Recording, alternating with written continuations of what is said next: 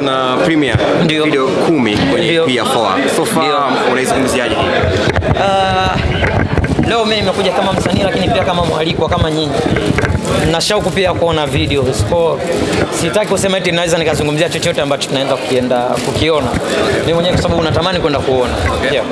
Kwa- kwa, Tanzania uh, ni- mara ya kwanza kuona msanii anafanya premiere Yeah, sure, ya sure. video sehemu kama hii hapa kabisa. wewe ni msanii imekupa picha gani baada ya kuona tunafanya kitu kama hichi Ah, najifunza najifunza kwa sababu ukiangalia na mimi na muda mfupi huko mbele natakiwa nitoe EP yangu kwa najifunza naangalia mfumo kwa sababu biashara mziki inabadilika kila siku.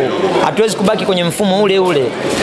Uzuri Mwenyezi Mungu katupa Diamond kupitia yetu tunajifunza vitu vingi sana. Kila mwaka anapofanya kitu anatufungua kwenye mifumo tofauti.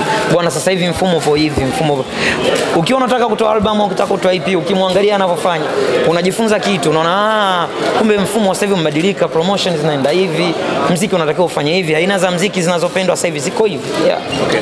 Um, Mbosso, congratulations. What one of the artists ambao unafanya vizuri. Asante sana. Uh, Zuchu as well as Diamond Juice tumemsikia pia ni watu ambao wanakubali sana mwandiko wako. Unahisi ni kwa nini? Ah, sijui yani, nafikiri ni upendo tu tulokuwa nao ofisini, tunapendana kwa sababu mimi mwenyewe nawapenda pia uandishi wao, kazi zao wanazozifanya kwao, nafikiri ni upendo tu Okay. yeah.